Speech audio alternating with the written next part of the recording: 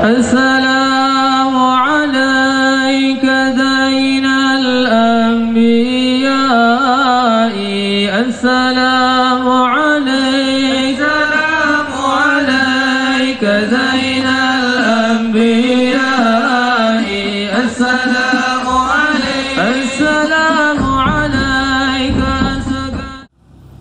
Assalamualaikum warahmatullahi wabarakatuh Alhamdulillah Wassalatu wassalam ala rasulillah la ba'dah amma ba'du Kaum muslimin di mana pun berada Alhamdulillah kita masih diberikan Allah subhanahu wa ta'ala kesempatan untuk melaksanakan ibadah puasa Ramadan pada tahun ini Mudah-mudahan Allah subhanahu wa ta'ala tetap memberikan kita kesempatan untuk Ramadan-Ramadan yang akan datang.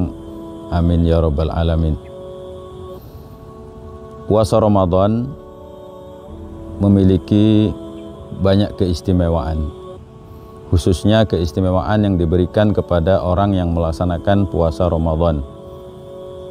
Di antara keistimewaannya adalah bahwa yang pertama, orang yang melaksanakan puasa di bulan Ramadan akan mendapatkan berbagai macam kemuliaan yang tentunya hal ini menunjukkan bahwasanya setiap syariat agama Allah Subhanahu wa taala yang kita laksanakan berpulangnya kepada diri kita sendiri termasuk dalam melaksanakan puasa Ramadan ini di antara keistimewaan yang diberikan Allah kepada orang-orang yang berpuasa terkhusus di bulan Ramadan adalah Allah Subhanahu wa taala mengangkat derajatnya.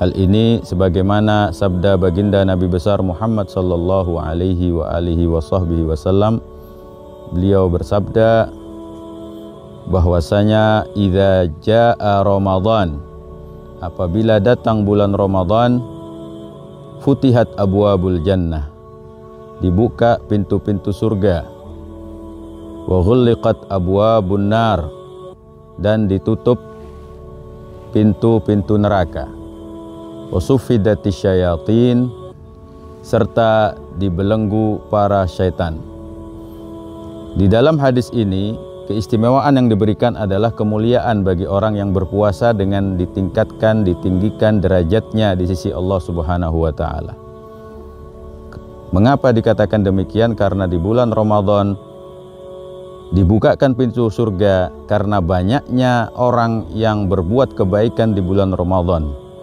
Sehingga dibukakan pintu surga adalah suatu ungkapan banyaknya amal ibadah yang dilakukan oleh orang yang melaksanakan puasa di bulan Ramadan.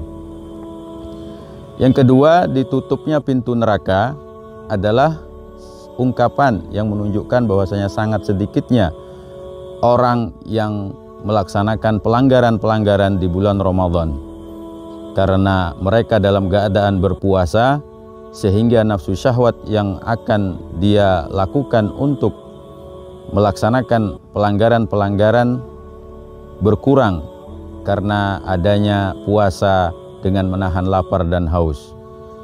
Lapar dan haus itulah membuat dia tercegah untuk berbuat kemungkaran. Yang ketiga wasufidati syayatin yaitu dibelenggunya para setan adalah karena orang yang melaksanakan puasa dengan haus dan lapar itu mempersempit gerak setan dalam mengganggu manusia untuk melakukan taat kepada Allah. Dikatakan dalam hadis lain bahwasanya Rasulullah Shallallahu alaihi wasallam bersabda, "Inna majras syaitan kajari dam fi fil insan atau kama qala Rasul sallallahu alaihi wasallam sesungguhnya jalan yang dilakukan setan dalam mengganggu manusia di dalam tubuh manusia adalah seperti jalannya darah. Karena adanya lapar dan dahaga mempersempit ruang gerak setan sehingga itulah makanya dikatakan wasufidati syayatin yang kedua di antara keistimewaan yang diberikan oleh orang yang melakukan puasa Ramadan adalah diampunkan segala dosa-dosanya yang telah lalu. Ini adalah kemuliaan yang besar. Berapa banyak orang melakukan puasa dan dia mendapatkan ampunan dari Allah Subhanahu wa taala. Rasulullah sallallahu alaihi wasallam bersabda, "Ramadan ila Ramadan mukaffiratun lima bainahunna ijtunibatil kabair." Antara Ramadan satu dengan Ramadan yang kedua adalah penghapus dosa-dosa apabila dijauhkan dari berbuat kesalahan dosa besar atau melakukan dosa yang besar. Dalam hadis lain dalam hadis lain Rasulullah sallallahu alaihi wasallam bersabda man shoma ramadhana imanan wa ihtisaban ghufira ma taqaddama min. Siapa yang berpuasa di bulan Ramadan karena didasari iman dan mengharap pahala dari Allah Subhanahu wa taala, maka diampunilah dosa-dosa yang telah lalu. Keutamaan yang ketiga, orang yang melakukan puasa Ramadan adalah dilemahkannya dapat melemahkan syahwat yang mengajak kepada berbuat kemungkaran. Dengan adanya lapar dan dahaga, orang yang melakukan kemungkaran akan enggan untuk melakukan kemungkaran karena tubuhnya akan lemas dan akan memutus syahwat yang condong untuk berbuat kemaksiatan. Yang ketik, yang keselanjutnya di antara keistimewaan dan keutamaan orang yang berpuasa adalah untuk menumbuhkan rasa berbagi dan bersedekah kepada orang lain. Orang yang berpuasa tentunya akan merasa, merasa lapar dan dahaga. Dengan perasaan lapar dan dahaga itu dia akan mengetahui bagaimana perasaan orang-orang yang setiap harinya hidup serba kekurangan.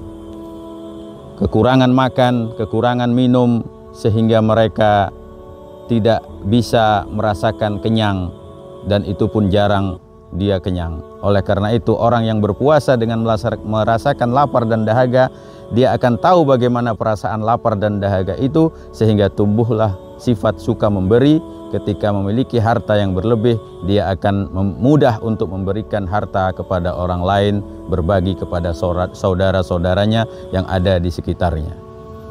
Kemudian di antara keutamaan bagi orang yang berpuasa adalah akan mudah untuk beribadah kepada Allah Subhanahu wa taala. Dengan dia tidak ber, dengan dia berpuasa dengan menahan lapar dan dahaga, maka dia akan ingat bahwasanya orang di hari kiamat nanti ketika dimasukkan ke dalam neraka, orang yang disiksa di dalam neraka itu akan merasakan haus dan dahaga yang tentu haus dan dahaga di neraka melebihi haus dan dahaga haus dahaga dan lapar yang ia rasakan di dunia. Dengan demikian dengan taunya ia tidak enaknya bagaimana lapar dan dahaga tersebut dia akan terus melakukan ibadah agar dia tidak dimasukkan ke dalam neraka karena orang yang di dalam neraka pun akan merasakan lapar dan dahaga yang sama bahkan lebih dahsyat lapar dan dahaganya kaum muslimin jamaah seluruh yang ada di mana saja berada. Kemudian yang selanjutnya adalah di dalam berpuasa ini akan menumbuhkan rasa syukur kepada Allah Subhanahu wa taala. Ketika dia lapar dan dahaga, dia akan merasakan syukur kepada Allah Subhanahu wa taala atas nikmat yang diberi. Kadang-kadang orang merasakan betapa berharganya sesuatu nikmat ketika nikmat itu tidak ada. Seseorang sakit, dia akan tahu betapa nikmatnya orang yang sehat. Dan begitu juga orang yang lapar akan tahu bagaimana orang yang kenyang dan orang yang haus akan tahu bagaimana orang yang hilang dari kehausan. Dengan demikian dia akan bersyukur kepada Allah betapa besar nikmat Allah yang diberikan kepadanya sehingga akan muncullah sifat syukur dan dengan bersyukur di itu dia akan melakukan ketaatan-ketaatan kepada Allah Subhanahu wa taala. Demikian yang disampaikan wallahul muwafiq ila aqwamit thoriq wabillahi taufik wal hidayah. Wassalamualaikum warahmatullahi wabarakatuh